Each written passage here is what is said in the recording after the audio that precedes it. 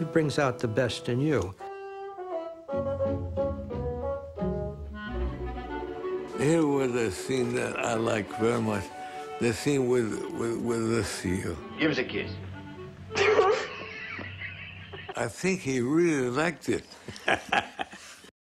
the difficulties Fleischer faced with Kirk Douglas were nothing when compared to those he experienced with another of his actors. Well, in my long experience of directing seals, uh, this she was one of the easiest. But seals are temperamental. We all had a lot of fun with, with the seal. But you'd be doing a scene with the seal, and uh, you're in a take, doing it. You had rehearsed it. Everything was fine. In the middle of the scene, the seal would turn around and leave. Go flopping across the stage outside through the stage door into the pen that she was kept in. And there wasn't much you could do about that. Say, you got to come back and promise her a better dressing room or something. But also in the picture, I had a chance to sing. You know, this has been quite a picture for me. I've never been braver. I fight sharks, cannibals, giant squid, women. But the bravest thing I do is to open my mouth and sing. Believe me, with a voice like mine, it takes a lot of courage. Drop, man.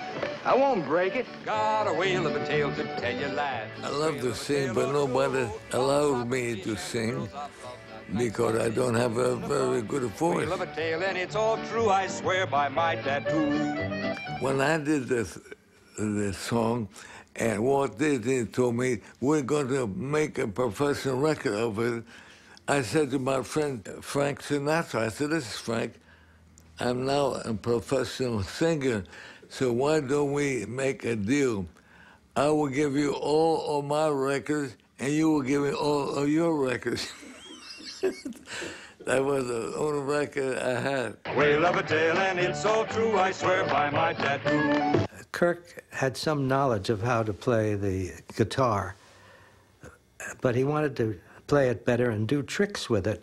And luckily, our uh, scenic designer, who was a total genius up, down, and sideways, Harper Goff, was a wonderful uh, uh, guitar player and banjo player, and everything else.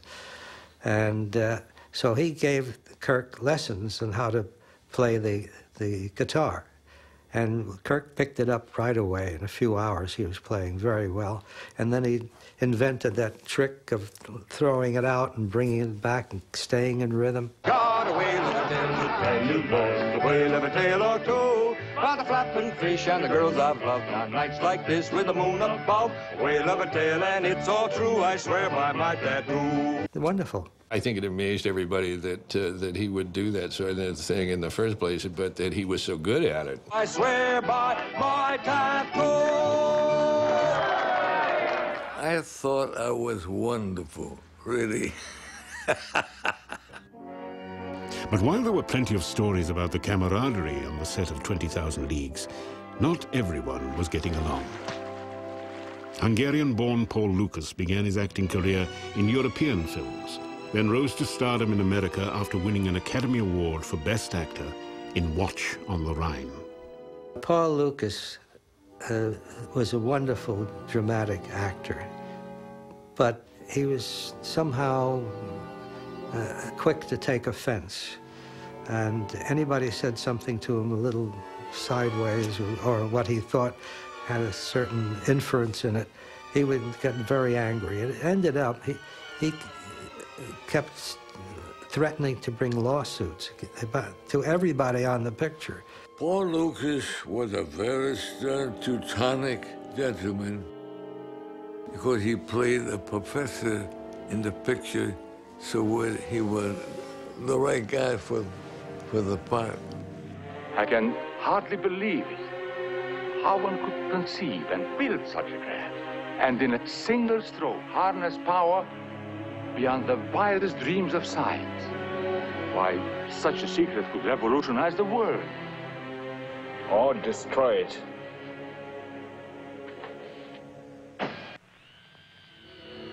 I think most of it was the fact that he was growing older and he was having memory problems. and he couldn't remember all the lines, and that embarrassed him. He has been a, a famous actor in Europe. He's a stage actor and a wonderful actor, and he would stumble on the lines or lose them. And then he would get mad at me and, get, and blame the writer for writing dialogue that he couldn't write. Anybody he could blame other than himself. But I understood that and um, just tried to keep him happy. I can't imagine anybody else playing that role as well as he played it. You know, that Landis here with a boat. Yes, yes. That tall one must be the leader. He'd be, be coming back any moment. My buddy in the shooting of the picture were really Peter Lorre. I liked him. Peter Lorre, who plays a very sympathetic role in 20,000 Leagues Under the Sea, claims that the squid got the role that's usually reserved for him.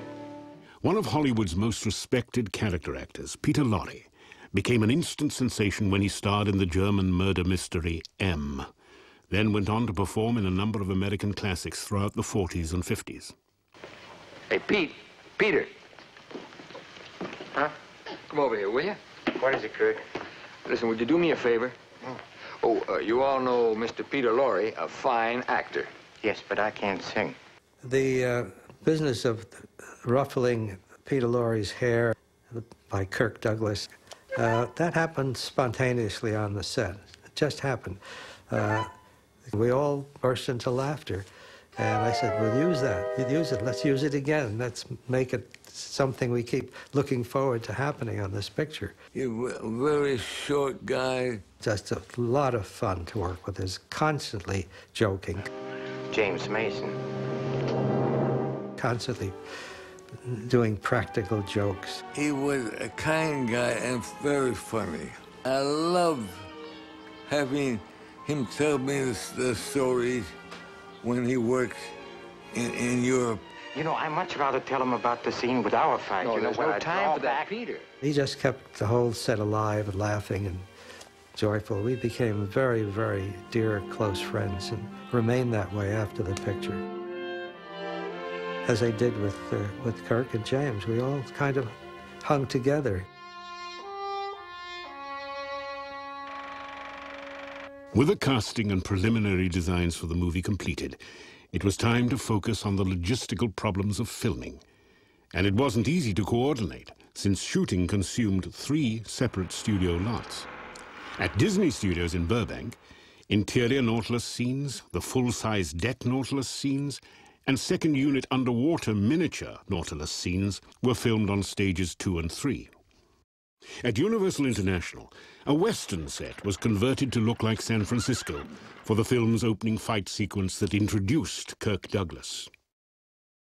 And work was going on as well over at 20th Century Fox, where miniature effects shots were filmed using the larger 22-foot Nautilus. They were also filming the scene where Nemo gets shot inside Volcania, as well as the scene where the cannibals rode out to the Nautilus to attack the ship. The actual attack was not the guys who were actually rowing the boats. For exotic realism, Disney sent a film unit to Jamaica.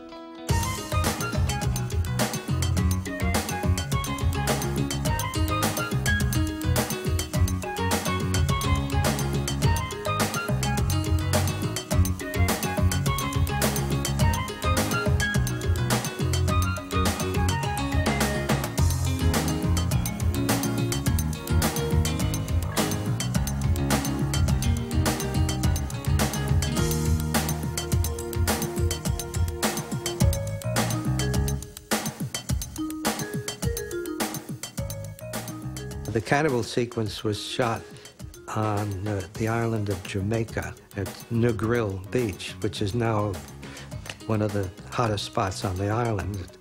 It's a great resort.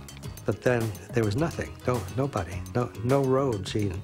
We went in a jeep to find the beach, a perfect beach. So even a tropical paradise had its own set of problems for the production. Tons of movie-making gear had to be shipped and carried to the site.